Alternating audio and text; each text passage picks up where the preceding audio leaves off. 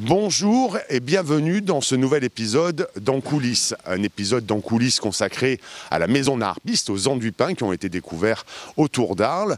Euh, le dernier épisode, nous avions examiné ensemble comment s'étaient déroulées les fouilles. Aujourd'hui, au château d'Avignon, une partie des équipes du MDA se sont occupées de l'étude des, des enduits. Je vous propose qu'on aille voir comment ça se passe. Suivez-moi. Alors voilà, là vous voyez, nous sommes dans le sacro-saint où toutes les pièces du puzzle qui constituent les, fresques de la maison d'arpiste sont en train d'être à l'étude. On se retrouve avec Julien Boilève. Euh, première question, monsieur Boilève, qu'est-ce que vous faites ici Bonjour, alors moi je suis donc toïcographologue à l'INRAP, l'Institut national de recherche archéologique préventive, c'est-à-dire que je suis en charge de l'étude des peintures murales romaines, c'est ma spécialité en, archéologie. Et euh, ici particulièrement, eh bien, euh, nous étudions justement les peintures découvertes sur le site de la Verrerie à Arles et plus spécifiquement les peintures de la maison de la harpiste.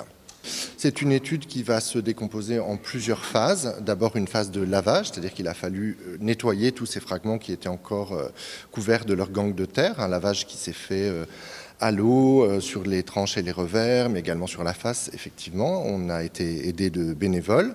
Ensuite, nous sommes dans la phase actuelle de remontage de ces fragments. C'est un immense puzzle, en fait, où il s'agit de réassembler tous ces fragments de décor pour avoir la meilleure lecture possible de ce décor. La troisième phase sera la documentation de ce que nous avons remonté. Et une dernière phase qui va consister à rendre un rapport, une analyse, c'est-à-dire qu'on va écrire une étude scientifique sur ces décors euh, avec des restitutions. Donc on va replacer tous les éléments dans la restitution idéale du décor, exprimer en fait tout ce que, tout ce que l'on peut euh, savoir, connaître de ces décors. Alors, en exclusivité, et avant que vous ayez terminé votre, votre étude, euh, qu'est-ce que nous apprennent euh, ces enduits peints de la, de la maison de harpiste? Alors ils vont avoir euh, un apport sous plusieurs angles. Euh, d'abord évidemment le plus évident c'est le décor, ça va nous renseigner sur la nature de l'ornementation de, cette maison. Mais euh, un autre point important ça va être aussi l'architecture, puisque quelque part en remontant ces fragments qui étaient sur les murs, eh bien on remonte les murs qui étaient disparus.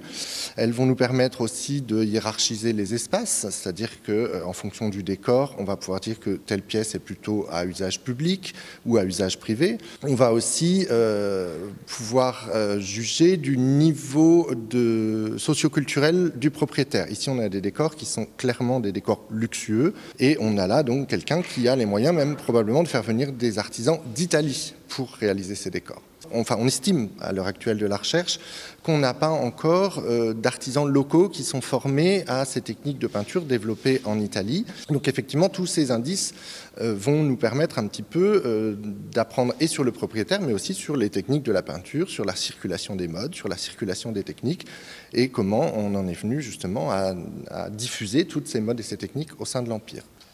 C'est ma dernière question. Euh, vous savez que je suis très bien informé. Vous allez partir. Quelle est la prochaine étape après l'étude? Qu'est-ce qui se passe?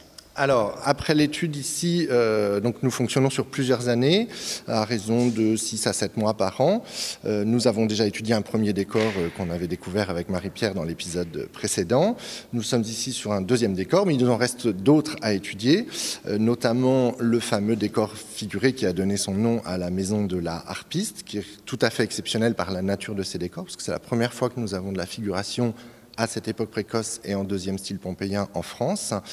Euh, donc l'année prochaine, nous allons finir la documentation de cet ensemble, puisque là, nous terminons dans quelques jours et euh, nous n'aurons pas eu le temps de réaliser les dessins, les photos et la documentation. Et quand nous aurons fini celle-ci, eh bien nous enchaînerons justement sur le remontage de ce décor d'une pièce voisine euh, de la maison de la harpiste à terme, au-delà de ces années d'études, on parle encore de au moins deux ans d'études, eh bien évidemment, euh, le but sera de pouvoir présenter ces peintures dans le musée au public, de les restituer dans des pièces en les remettant en situation.